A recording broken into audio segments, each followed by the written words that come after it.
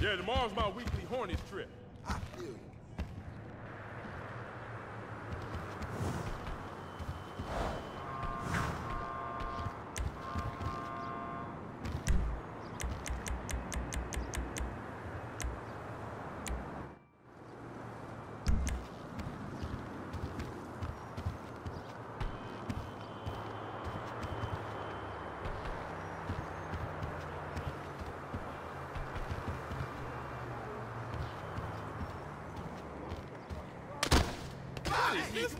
Yeah, I thought so.